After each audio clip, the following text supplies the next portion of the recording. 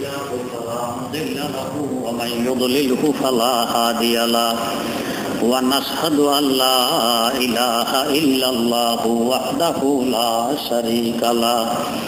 ونشهد أن سيدنا ونبينا ومولانا محمدا عبده ورسوله. أرسله بالحق بشيرا ونذيرا وداعيا إلى الله بإذنه وسراجا منيرا. صلى الله تعالى عليه وعلى آله وأصحابه وسلم تسليما كثيرا. أما بعد فأعوذ بالله من الشيطان الرجيم. بسم الله الرحمن الرحيم.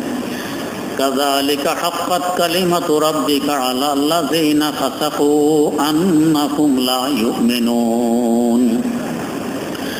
قل هل من شركائكم من يبدأ الخلق ثم يعيده؟ قل الله يبدأ الخلق ثم يعيده فأنا تؤفكون. قل هل من شركائكم من يهدي إلى الحق قل الله يهدي إلى الحق فمن يهدي إلى الحق أحق أن يتبع أما لا يهدي أما لا يهدي إلا أن يهدى فما لكم كيف تحكمون وما يتبعهم وما يتبع أكثرهم إلا ظنا إن الظن لا يغني من الحق شيئا إن الله عليم بما يفعلون صدق الله مولانا العظيم সুরায় ইউনুসের তেত্রিশ নম্বর আয়াত থেকে তেলাবাত করা হয়েছে কিছু মানুষ এমন আছে, এরা এদের জঘন্যতম অপরাধের কারণে ভবিষ্যৎ রাস্তা বন্ধ করে দেয়। আল্লাহ রব্বুল আলমিন এদের সম্পর্কে বলতেছেন কাদালিকা হাক্কাত কালিমাতু রব্বিক।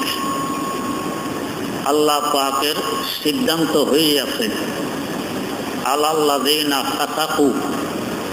যারা খুল্লম খোলা প্রকাশ্যে আল্লাহর নাফরমানিতে লিপ্ত। এদের জন্য সিদ্ধান্ত হয়ে যাচ্ছে কি সিদ্ধান্ত? আন্নাহুম লা ইউমিনুন, এদের ভাগ্যে আর ইমান আনা নেই। খুল্লম খোলা সকলের সামনে নাফরমানি করা কত বড় দৃষ্টতা আল্লাহ আব্বুল আলমিন এতে রাগান্বিত হয়ে এদের ব্যাপারে সিদ্ধান্ত জানায় দিলেন, এদের কপালে আর হেদায়ত নেই। তাই সকলের সামনে খুল্লম খোলা নাফরমানি করার ব্যাপারে আমাদেরকে খুব সতর্ক থাকতে হবে। গোপনে যদি কোনো নাফরমানি হওয়া যায়, গোপনে আল্লাহ পাকের কাছে তবা করে নিলে আল্লাহ পাক ক্ষমা করবেন। কিন্তু প্রকাশ্যে নাফরমানি করা, এটা অনেক বড় জঘন্যতম অপরাধ।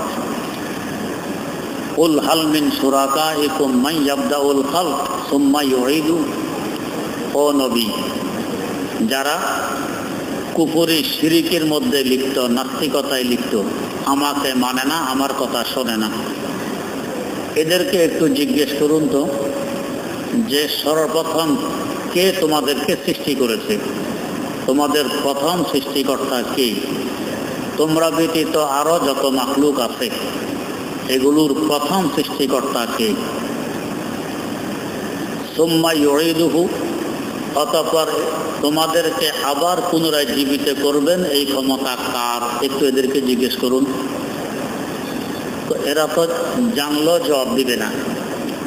জবাব দিলে তো তারা ধরা পড়ে, আল্লাহকে মানতে হয়। জবাব দিবেন হাতে আপনি জবাব দিয়ে দেন, কুলিল্লাহু খালকা সুম্মা ইউঈদু একমাত্র আল্লাহ রব্বুল আলামিনই প্রথমবারও সৃষ্টি করেছেন। তোমাদের মারা যাওয়ার পর, মাটির সাথে মিশে যাওয়ার পর পুনরায় তিনি আবার তোমাদেরকে চিন্তা করবেন। আন্না তো ফাকুন তাহলে তোমরা কেন আল্লাহ থেকে দূরে সরে যাও? আল্লাহর নাফরমানিতে কেন লিপ্ত হও? এ উত্তর দাও। এ উত্তর এদের কাছে থাকবে না। উল হালমিন সুরাকা ইকুম মাইয়াহাদি ইলাল হক এদেরকে দ্বিতীয় আরেকটি প্রশ্ন করবেন যে, বিশেষ করে যারা মূর্তি পূজায় লিপ্ত, এদেরকে জিজ্ঞেস করেন যে, মূর্তি কি তোমাদেরকে সঠিক রাস্তা দেখাইতে পারে? না দেখায়। মূর্তি নিজেই তো অপারগ। আমি যদি উপর করে রাখি উপর করেই থাকতে সে বাধ্য। দাঁড় করায় রাখলে, দাঁড়িয়ে থাকতে সে বাধ্য। শোয়ে রাখলে, শুয়ে থাকতে সে বাধ্য। সে আমাকে সঠিক রাস্তা কি দেখাবে? ফারুক আজম ওমর রাজি আল্লাহ আনহু একটি কথা বলে মাঝে মধ্যে হেসে দিতেন। কি কথা বলতেন, কেন হাসতেন? তিনি বলেন যে, আমি একবার এক সফরে রওনা করেছি। আরবের পত্তলিকদের স্বভাব ছিল, সফরে যাওয়ার সময়ও একটা মূর্তি সাথে নিয়ে যেত, যাতে এই মূর্তির পূজা পাঠ সফর অবস্থাও করতে পারে। হজরত অমর করছেন কি? খেজুর দিয়ে একটি মূর্তি বানাইয়ে এটাই সাথে নিয়ে গেছেন খেজুর। আমরা যেরকম মিষ্টি দিয়ে কত কিছু বানাই, চকলেট বানাই কত রকমের, এখন মূর্তি সুরতর চকলেট খাওয়া যায়। এরকম খেজুর দিয়ে মূর্তি বানাইয়ে সাথে নিয়ে গেছেন। সফর অবস্থায় সকল পয়সা করি শেষ হয়ে গেছে। খাবার দাবার শেষ হয়ে গেছে। এবারে ক্ষুদা কি খাবেন? কথা আমি ওই মূর্তি খেয়ে ফেলছি। খেজুরে বানানো মূর্তি। যেই মূর্তির এই সফর অবস্থায় এতদিন আবাদত বন্দিগি করলাম, পূজা পাঠ করলাম, যখন অতিরিক্ত ক্ষুদা শুরু হয়ে গেল, এই মূর্তিকে খেয়ে ফেললাম। এই কথা বলে উনি হেসে দিতেন যে আমরা কত অভূত ছিলাম, যে সর্বক্ষমতার মালিক মনে করতাম এই মূর্তিকে, আর আমার খুদে আমি সে ক্ষমতার মালিককে খেয়ে ফেললাম। কত বড় অবুজ আমরা ছিলাম। এখানেও আল্লাহ পাক বলেন, কুল হালমিন সুরাকা একুম মাইয়াহাদি ইলাল হক? যে তোমরা যাদেরকে আল্লাহ শরিক মনে করো মুক্তিকে, এরা কি তোমাদেরকে কখনো সঠিক রাস্তা দেখাইতে পারে? এরা তো জবাব দিবে না। জবাব দিলে তো ধরা পড়বে। নবী, আপনি জবাবটা তাদেরকে শোনাই দেন হক আল্লাহ তো আমাদেরকে হক রাস্তা দেখান। পয়গম্বর পাঠানোর মাধ্যমে, কিতাব অবতীর্ণ করার মাধ্যমে, পয়গম্বরের অবর্তমানে ওলামাই কেরামের মাধ্যমে আল্লাহ পাকে তো হক রাস্তা দেখান। তো ফামাই ইলাল হক আইন ইল্লা আইন ইহুদা ইল্লা আইন ইহুদা। তাহলে এবারে তোমরা বলো, যে তোমাদেরকে হক রাস্তা দেখায়, তারই অনুসরণ করা লাগে, এটা যুক্তির দাবি, না যে তোমাদেরকে সঠিক রাস্তা দেখাইতে পারে না। বরং তোমরা ওকে যেভাবে রাস্তা দেখাও, সেইভাবেই দেখতে বাধ্য। সে উপাসনার উপযোগী, তোমরাই বলো। সঠিক রাস্তা যেহেতু আল্লাহ দেখান, অতএব আবাদতের উপযোগীও আল্লাহ পাকেই হবেন। মূর্তি সঠিক রাস্তা দেখাইতে পারে না, বরং মূর্তিকে সাজাইলে আমাকে সাজাইতে হয়, রং দিলে আমাকে দিতে হয়, দাঁড় করাইলে আমাকে করতে হয়, হেফাজত করলে আমাকে করতে হয়। তাহলে সে আমার উপাসনার মালিক কীভাবে হয়? ফামালাকুম কাইফা হাকুমুন তাহলে তোমরা এবারে ইনসাফ করো। ইনসাফের দাবি কি? এবাদত বন্দিগি কার করতে হবে?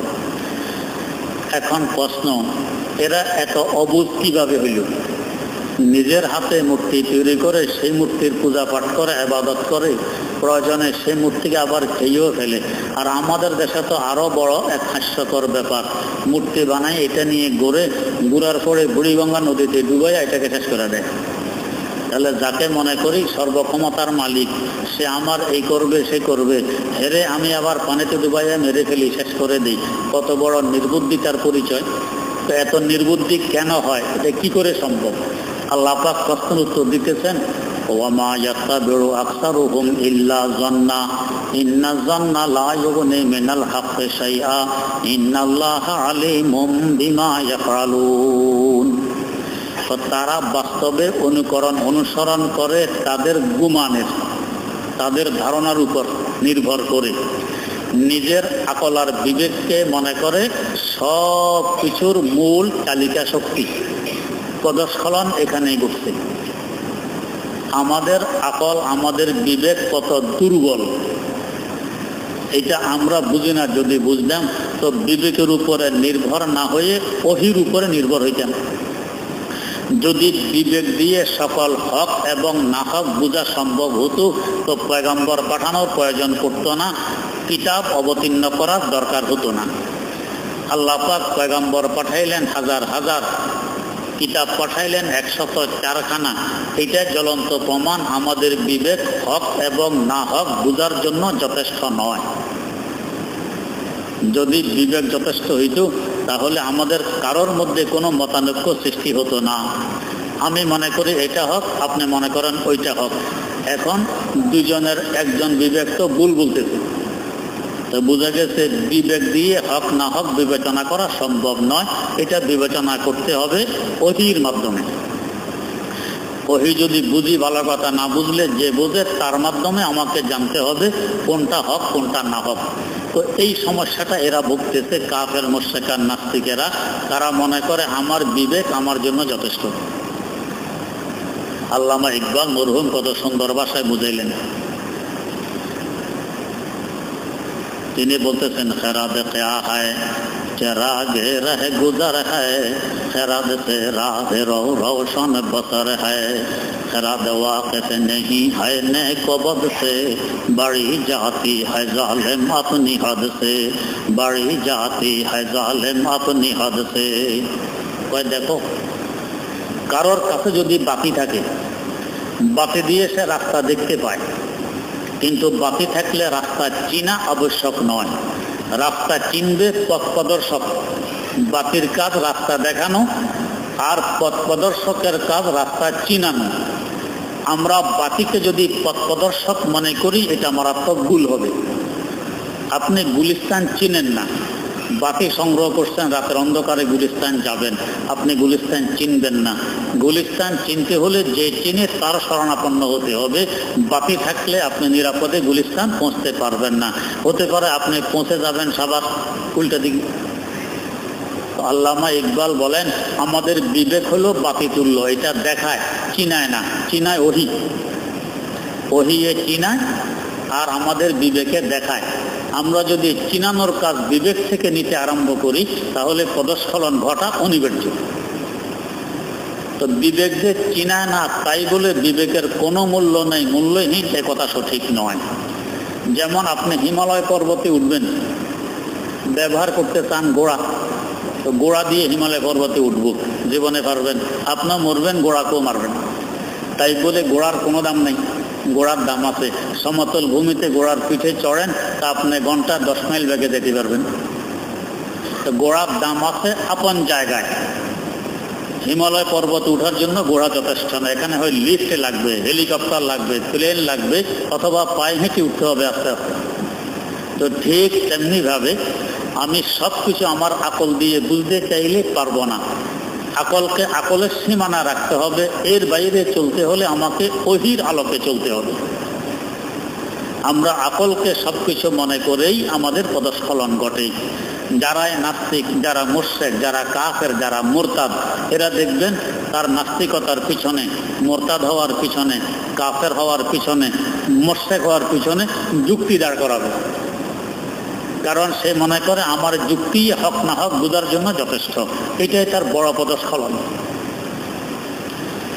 হজরাতে পয়গম্বর আলহিমসালাম থেকে বড় বুদ্ধিমান, বড় যুক্তিওয়ালা দুনিয়াতে আর কেউ আছে না হতে পারে? সম্ভব নয়। ওনারাই সবচেয়ে বড় যুক্তিওয়ালা, সবচেয়ে বড় জ্ঞানী। এর পরও তো ওনারা যুক্তি দিয়ে চলেননি। অহির অপেক্ষা করছেন অহি কি বলে? ওই হিসাবে চলবেন। হজরতে আয়সা সিদ্দিকা রাজি আল্লাহ কাল আনহার ব্যাপারও অপবাদ দেওয়া হয়েছে। আল্লাহ মাফ করুক। রাসুল সাল্লাহ আলাইহি ওয়াসালাম যুক্তি দিতে পারতেন যে উনি আমার স্ত্রী। পয়গম্বরের পরে যার স্থান আবু বকরে সিদ্দিক রাজি আল্লাহ কাল আনহুর নেই বেহেস্তের নারিকুলের সর্দার। এত গুণে যেই মহিলা গুণান্বিতা, তার পক্ষে এই অপকর্মে লিপ্ত হওয়া আদৌ সম্ভব? যুক্তি দিতে পারতেন, হুজুর যুক্তি দেননি। অপেক্ষা করছেন ওহির দীর্ঘদিন যাবৎ। যখন ওহি এসে পরিষ্কার করে দিল যে যারা অপবাদ দিতেছে, তারাই আসলে মিথ্যাবাদী আয়সা এ ব্যাপারে একেবারে নিষ্পাপ। ওহি আসার পরে হুজুর সিদ্ধান্ত শোনাইলেন আয়সা নিষ্পাপ, যারা ওনার উপরে অপবাদ চাপাইছে, তারা দোষী। এর আগ পর্যন্ত হুজুর কোনো যুক্তি দাঁড় করাননি। হুজুরের কাছে বহু যুক্তি ছিল। তো বোঝা গেছে যুক্তি নির্ভর নয় আমাদের এই দিন। এই দিন হলো ওহি নির্ভর। যদি যুক্তি নির্ভর হইত? হজরত ইমাম ফখরুদ্দিন রাজি রাহেমাহুল্লাহ, অনেক বড় দার্শনিক, অনেক বড় যুক্তিবিদ। মৌতের আগে শয়তান যুক্তি নিয়ে আসে পদস্খলন ঘটানোর জন্য। বেইমান হয়ে যাতে দুনিয়া থেকে বিদায় নেয় এই জন্য শয়তান আসে। শয়তানদের মোকাবেলার লক্ষ্যে ইমাম ফখরুদ্দিন রাজি একশত যুক্তি আগে থেকে প্রস্তুত করে রেখেছেন। মৌতের সময় শয়তান আসলে আমি এই যুক্তিগুলো দিয়ে প্রমাণ করব, আমার আল্লাহ একজন আছেন। উনি এক সময় মুরিদ হইতে গেছেন হজরত খাজা নাজমুদ্দিন সোগরা রহমতুল্লাহ আলাইহের কাছে। কিন্তু কোনো কারণে মুরিদ হননি, ফিরে চলে আসছেন। গেছেন এক আল্লাহর অলির দরবারে, মুরিদ হননি ফিরে চলে আসছেন এন্তেকালের আগে শেষ নিঃশ্বাস ত্যাগ করবেন। এর আগে আশেপাশের লোকেরা দেখতেছে থেকে পানির ছিটা এসে তার চেহারায় করছে পানির ছিটা চেহারা মাত্র তিনি বলতেছেন, যুক্তি মুক্তির দরকার নেই, বিনা যুক্তিতে আমার আল্লাহ একজন। এই কথা বলে তিনি এন্তেকাল করে গেছেন। আর এদিকে খাজা নাজমুদ্দিন সোবরা রহমতুল্লাহ আলাই আসরের উজু করতে বসছেন। খা দেন, পানি এনে দিল। পানির পর পানি খরচ করতেছে, খা দেন, পানি এনে দিতেছে, উনি খরচ করতেছেন। হঠাৎ এক কোষ পানি নিয়ে সামনের দিকে মারলেন আর বললেন যে, বলো, বিনা যুক্তিতে আমার আল্লাহ একজন। এ কথা বলে তিনি উজু শেষ করছেন। খাদেন দোষে হুজুর। অন্যান্য দিন এক লোটা পানিতে উজু শেষ হয়। আজকে এত পানি ব্যয় করলেন, আবার এক কোষ পানি নিয়ে সামনে মারলেন, বললেন, বলে দাও, বিনা চুক্তিতে আমার আল্লাহ একজন। কথা কার সাথে বলছেন? পানি কেন মারলেন? এত পানি কেন খরচ করলেন? জবাব দিলেন, দেখো ভাই, ইমাম ফখরুদ্দিন রাজি এক সময় আমার কাছে এসেছিলেন মুরিদ হওয়ার জন্য, কোনো কারণে মুরিদ হননি। কিন্তু আসছেন তো। আজ তিনি দুনিয়া থেকে বিদায় নিয়ে গেছেন। সকাল থেকে শয়তানের সাথে এই যুদ্ধ চলে, যুক্তি যুদ্ধ। শয়তান যুক্তি দেয় আল্লাহ এক নয়, একাধিক। আর উনি যুক্তি দেন আল্লাহ একজন। উনার একশো যুক্তি সব এই মুহূর্তে শেষ হয়ে গেছে। এরপরে শয়তান আরেক যুক্তি দাঁড় করাইছে আল্লাহ এক নয়, একাধিক। ওনার কাছে আর যুক্তি নেই। উনি এবারে ইমান হারা হয়ে যাওয়ার দশা ঘটে গেছে। যেহেতু একদিন আমার কাছে উনি এসেছেন, যদিও মুড়ি ধননি এর ইজ্জত রক্ষার্থে আমি একটু সাহায্য করে দিলাম। পানি মেরে ওনাকে জানাই দিলাম, যুক্তি দরকার কি বলে দাও, বিনা যুক্তিতে আমার আল্লাহ একজন। তাই উনি কথা বলে দুনিয়া থেকে বিদায় নিয়ে গেছেন, আলহামদুলিল্লাহ ইমান নিয়ে বিদায় নিতে পারছেন, শয়তান ফেল হয়ে গেছে। এখন খাদেমের মনে খুদুর বুদুর, কিরে কই হুজুর, কই ইমাম ফখরুদ্দিন রাজি? কি বলে হুজুর? আর এখান থেকে বললে কথা ওনার কাছে পৌঁছবে কীভাবে? মোবাইলে তো বলেননি। খাদেম খোঁজ করতে করতে তার এলাকায় গেছেন। ইমাম ফখরুদ্দিন রাজে রহমতুল্লাহ এলাহের এলাকায়। সেখানে গিয়ে খোঁজ করতে করতে তার বাড়িতে পৌঁছলেন। এন্তেকালের সময় যারা সাথে সাথে ছিল, তাদেরকে জিজ্ঞেস করতেছেন, ভাই, ইমাম রাজি এন্তেকাল করছেন কোন দিন, কোন সময়? অমক দিন আসরের সময়। এন্তেকালের সময় কি বলছেন? এন্তেকালের সময় আমরা হঠাৎ দেখি পানির ছিটা এসে তার চেহারায় পড়ল। এই সাথে সাথে তিনি বলে দিলেন, বিনা যুক্তিতে আমার আল্লাহ একজন। এই কথা বলে তিনি বিদায় নিছেন। তো সকাল থেকে আসর পর্যন্ত কি বলছেন, কার সাথে বলছেন, কাকে সম্বোধন করে বলতেছেন আমরা কাউকে দেখিনি। কিন্তু সারাদিন তর্ক চলছে, শেষমেশ এই কথা বলে বিদায় নিয়ে গেছেন। ঘটনাটি উল্লেখ করার পর আল্লামা জালালউদ্দিন রুমি রহমতুল্লাহ আলাই মসনবী শরীফে লিখতেছেন গর্ব এস্তেদালে কারে দি বুদে রাজি রাজে দারে দি বুদে ফখরে রাজি রাজে দারে দি বুদে کار استدلالیاں چوں بے بواد پائے چوں بے سخت بے تم کی بواد پائے چوں بے سخت بے تم کی بواد আমাদের দিন ইসলাম যদি যুক্তি নির্ভর হইত, ইমাম ফখরুদ্দিন রাজি দিনের বাক্সা হইত। শয়তানকে উনি ফেল করাতে পারতেন, নিজে পাঠাতে পারতেন। কিন্তু এই দিন যুক্তি নির্ভর নয় অতি নির্ভর। এর বরকতে ইমাম রাজি ইমান নিয়ে যেতে পারতেন।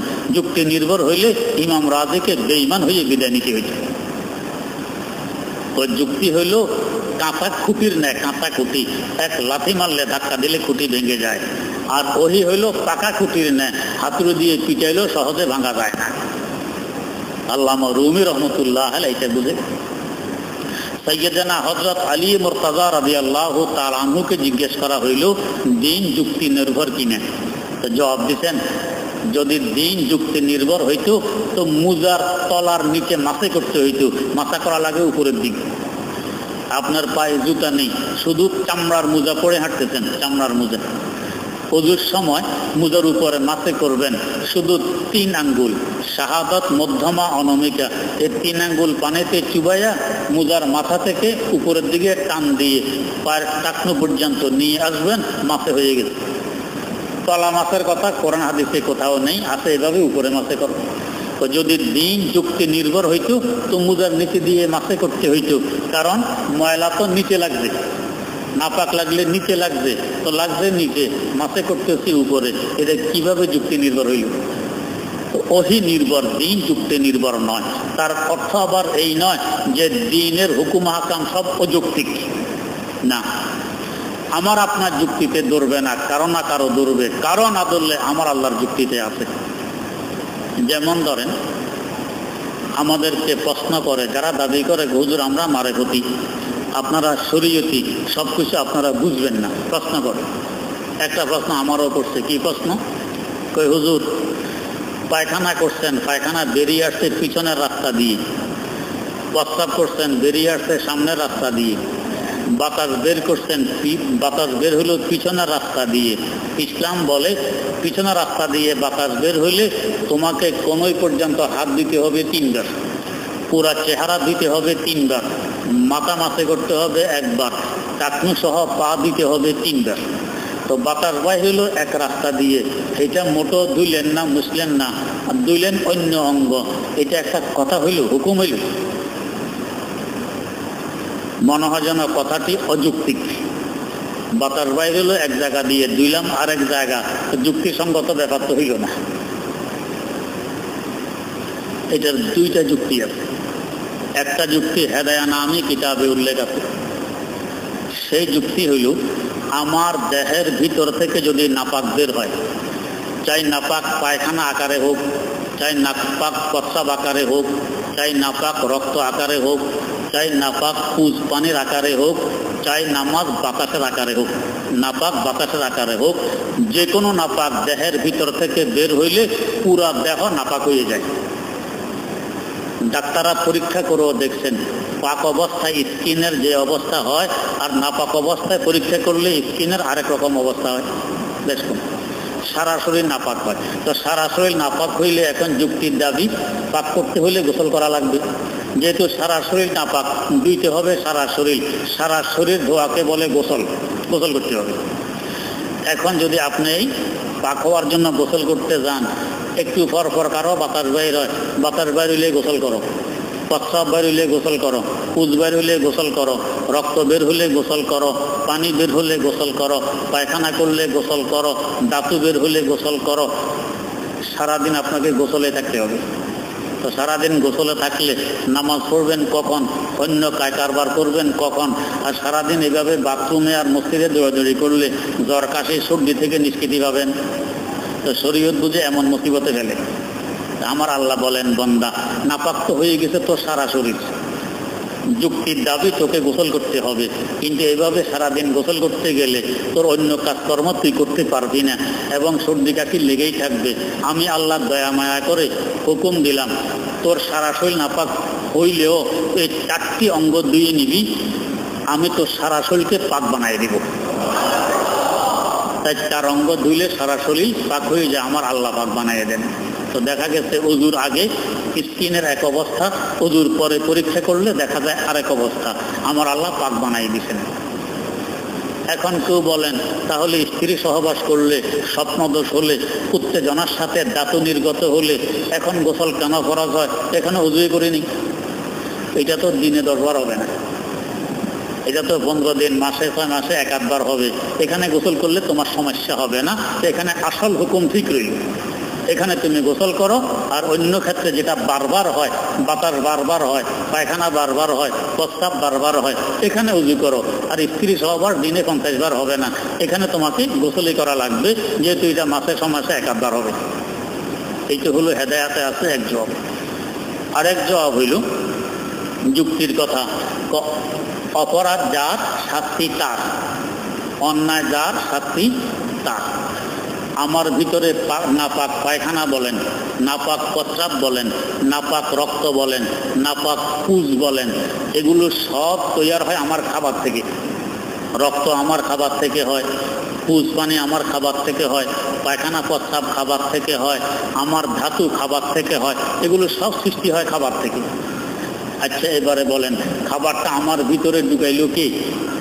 খাবার ঢুকাইছে আমার পা হেঁটে গেছে খাবার পর্যন্ত। খাবার ঢুকাইছে আমার চেহারা। চোখ দেখছে, এটা খাবার উপযোগী। চাবাইছে মুখ। গ্রান শুনছে, নাক। এটা গান্দা হয়ে গেছে না? ঠিক আছে, নাক। এবং মুখে তুলে দিল কে? আমার হাত। চিন্তা করল কে? আমার ব্রেন। কোন খাবার এখন খাব, কোনটা খাব না? পাকাইতে হলে কীভাবে পাকাইলে স্বাদ হবে, কীভাবে পাকাইলে স্বাদ হবে না? চিন্তা করছে ব্রেন, মানি, মাথা। তাহলে এই খাবারটা ভিতরে ঢুকানোর পিছনে পায়ের অপরাধ, দোকানের পিছনে হাতের অপরাধ, দোকানের পিছনে আমার চেহারার অপরাধ, চোখ, নাক, মুখ, চেহারার এই অংশ, দোকানের পিছনে ব্রেনের অপরাধ। সে অপরাধ যার, দোষ যার, শাস্তি তার, বাতাস যেখান দিয়ে বের হোক, অপরাধ তো এই চারজনের এই জন্য দুইবা তোমরা। সে আল্লাহ পাক বলেন, হাত ধো, পা ধো, চেহারা ধো, আর মাথা মাসে করো, যেহেতু অপরাধ তোমাদের। এটা যুক্তির কথা। এইভাবে প্রত্যেকটি হুকুম যুক্তির ঊর্ধ্বে নয়। কি কয় যুক্তি বহির্ভূত নয় যুক্তির ঊর্ধ্বে হতে পারে আমার আপনার যুক্তিতে না ধরতে পারে কিন্তু যুক্তি আছে আহকাম ইসলাম আকল के नज़र में हकीमुल उम्मत मुजद्दुल मिल्लत हजरत শাহ আশরাফ আলী থানভী রহমতুল্লাহ আলাই ইসলামী হুকুমের পিছনে কি কি যুক্তি আছে এই কিতাবে তুলে ধরেছেন ইমামুল হিন্দ শাহ ওলিউল্লাহ মুহাদ্দিস দেহলভী রহমতুল্লাহ আলাই বালাগা নামী কিতাবে এই হুকুমের পিছনে কি যুক্তি আছে সেখানে তুলে ধরেছেন। তাই পুরা বিশ্বে এই কিতাবটি গৃহীত। আমার দাদা ওস্তাদ শাইকুল ইসলাম, আল্লামা সাব্বির আহমদ ওসমানী রহমতুল্লাহ আলাই সহি মুসলিম শরীফের ব্যাখ্যা গ্রন্থ সাতফুল মূল হেমে যুক্তিগুলো তুলে ধরেছেন। কোন হুকুমের পিছনে কি যুক্তি আছে? এর বাইরেও আরও বহু যুক্তি থাকতে পারে। তাহলে কোন হুকুম যুক্তি বহির্ভূত নয়, যুক্তির ঊর্ধ্বে হতে পারে। কিন্তু সব কিছুকে আমি আমার যুক্তিতে বিবেচনা করতে গেলে এখানে আমার পদস্খলন ঘটবে গোটা অনিবার্য এই জন্য বুজুর্গান দিন বলেন, ফলসফি কো বসকে আন্দর খোদা মিলতা নেই ফলসফি কো বসকে আন্দর খোদা মিলতা নেহি। দূর তো সুর যা রাহা হয় কুরসিরা মিলতা নেই দূর তো যা রাখা হয় করছে মিলতা নেই। যারা শুধু যুক্তির ঘোড়া দৌড়ায়, যুক্তি দিয়ে চলতে চায়, এরা কখনো নিরাপদে গন্তব্যে পৌঁছতে পারে না, পারবে না। এদের পদস্খলন অনিবার্য। যত যুক্তির ঘোড়া দৌড়াবে তত অন্ধকারে নিমজ্জিত হতে থাকবে। আল্লাহ পাক এ একত্রে বলতেছেন, ওয়া মা ইয়াত্তা আকসারুহুম ইল্লা জান্না নাস্তিক বলেন, মোরতাদ বলেন মোর্শেক বলেন, কাফের বলেন, এরা চলতে চায় আমাদের, তাদের গুমান, ধারণা এক কথা যুক্তির উপর নির্ভর করে, এজন্য তাদের পরস্খলন ঘটে। রাসুল আকরাম সাল্লাহ আলাইহি ওয়াসালাম মেয়ারাজ থেকে ফিরে আসলেন। আসার পরে মেয়ারাজের বর্ণনা দিলেন। আবু জাহাল, এটা শুনে আবু বকর সিদ্দিক রাজি আল্লাহ তালাহুর কাছে গিয়ে বলতেছেন, আর কি মোহাম্মদকে বিশ্বাস করতে পারো? ওই কি? ওই সে নাকি সাত আকাশ ছড়াই দিয়ে আর সে মোড়াল্লায় গেছে। এখান থেকে বাইতুল মোকাদ্দাসে গেছে, সেখান থেকে উপরে গেছে। এই সমস্ত আজগুবি কথাবার্তা আজকে সে শুনে আবু বকর সিদ্দিক রাজি আল্লাহ তাল আনহু নবীর দরবারে এসে জিজ্ঞাসা করলেন, না হুজুর, কি যুক্তি? একটু শুনি তো, আপনাদের গেছেন বরং যুক্তি মুক্তি বাদ দিয়ে আবু জাহালকে জবাব দিতেন তো আমার নবী মোহাম্মদ সাল্লাহ আলাইহি ওয়াসাল্লাম কি কথা বলেছে? কাহা বলেছে?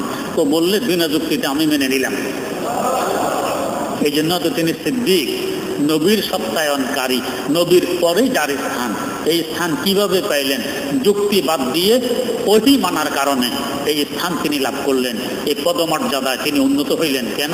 এই যুক্তি মানি না। নবী বললে, আমি মেনে নিলাম। সব সত্য।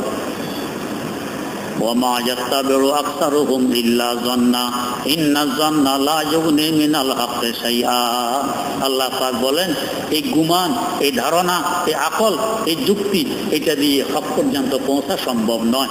ইন্নাল্লাহ আলিমুম বিমা ইয়াফালুন তারা কেন ভ্রষ্ট?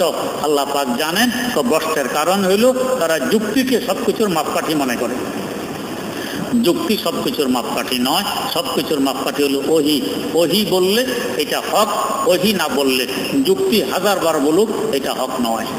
আল্লাহ রব্বুল আলমী আমাদেরকে সহিবুদার তৌফিক দান করুন।